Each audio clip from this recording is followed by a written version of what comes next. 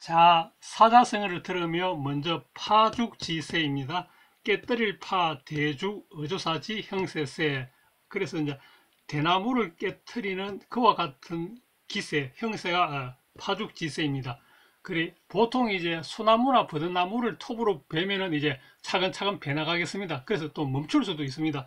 그런데 파죽지세는 이제 만약 대나무가 있으면 대나무를 어 그 위에서 낫으로 쫙 쪼개든 아니면 칼로 쫙 쪼개 보면은 실새도 없이 끝까지 딱 다 이렇게 딱 갈라지겠습니다. 그와 같이 이렇게 이제 막을 수 없이 이렇게 밀, 밀려올 때 밀려갈 때 그때 이제 파죽지세 하겠습니다.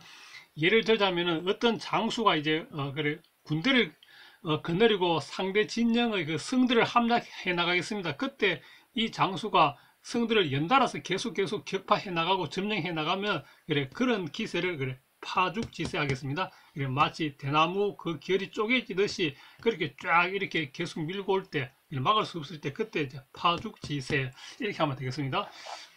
그래서 일상생활에서는 보통 이제 뭐 운동선수들이 경기할 때 이제 그래 우리 팀이 파죽지세의 5년승을 거두었다 뭐 6연승을 거두었다 이렇게 쓰겠습니다. 그래 그래서 이제 이것은 막을 수 없는 형식이 마치 대나무를 대나무를 쪼갰을 때 그 결이 쫙 갈라지듯이 이렇게 쫙 밀고 들어올 때 밀고 갈 때 파죽지세.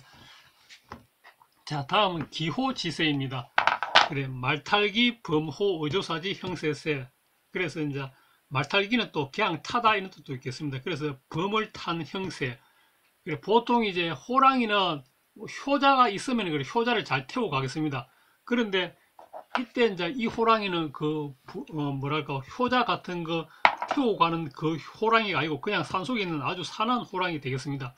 그래서 그런 호랑이를 딱 타보면은 이것은 중도에 내릴 수가 없겠습니다. 왜냐하면 가다가 내리뿌면은 호랑이가 막 잡아먹겠습니다. 그래서 호랑이가 이제 끝까지 가서 우회될지 뭐 일이 결판 나야 되겠습니다. 이게 이제 어, 기호지 있어요. 만약에 폭군이 있을 때 신하들이 이제 모여서 이 폭군을 몰아내고 새 왕을 이제 세우려고 막 어, 그게 이제 계획을 세우고 막 실, 실행하겠습니다. 그런데 중도에 멈춰보면은 여기 어, 그 폭군 쪽에서 오히려 이게 뭐랄까 군사를 동원해서 이거 반정을 일으키는 신하들을 다 죽이겠습니다. 그래서 이런 경우에는 일이 끝날 때까지 멈출 수가 없겠습니다. 이게 바로 기호지세입니다. 그래 기호지세. 그래서 어 그래 범을 탄 형세라서 지금은 뭐 끝까지 가야 되겠습니다. 그래 이런 경우는 그래 기호지세.